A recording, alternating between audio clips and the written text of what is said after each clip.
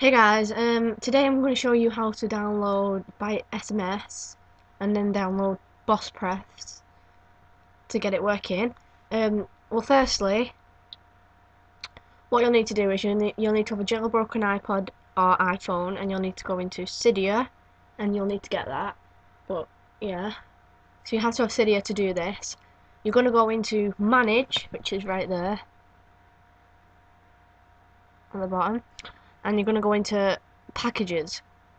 And once you've done that you're going to go in going to click the search button right at the bottom there and you're going to type in biteSMS but mine's taking ages to load so bear with me. Here we are right. It's at the top. And we're going to click on that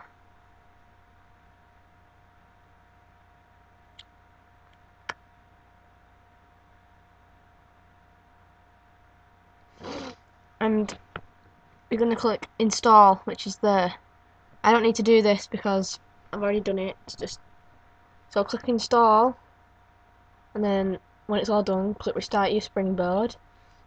And then what we're going to do is once all that's finished so you might want to pause the video while this works we're going to then type in BossPrefs okay?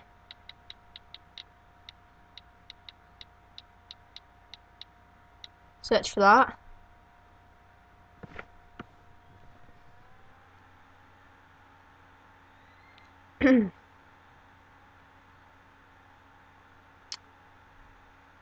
Might take a long time depending on what iPhone you've got obviously.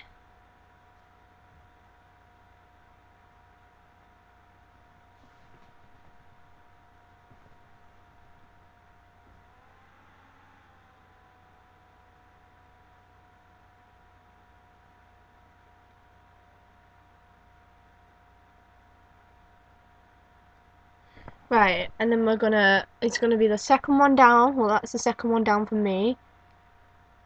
And it looks like that there. Let's click on that. Oh, sugar, clicked the wrong one. And mine's got a tick on it because I've already installed it. So, when mine says modify, yours is gonna say install. And you're gonna install that, and it's gonna restart your springboard again, right? And for some of you, BossPrefs won't work. This is what it did to me. So with BossPrefs, when it downloads, there'll be a SB settings, and if you don't get that, there should be at the top where your internet connection is. You just put your finger across there and slide it, and BossPrefs should come up. Um, so what I'm going to do is, I'm going to go on SB settings because my BossPrefs won't work. And what we're going to do is, we're going to we're going to scroll down to hide icons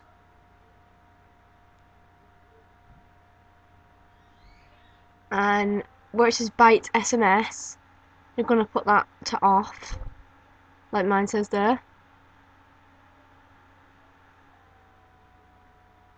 And you need to you, when you've done that you need to restart your springboard. And after that to see if it's working you go to your messages. And I'm gonna send myself a message to see if it's working I'm just gonna go hi. Say hi. See if you can see this. And you're gonna click send. Alright, and then you're gonna quickly go off it and pretend you're looking at a notepad or something. Oh, here we are. And you'll see the reply, call, and open.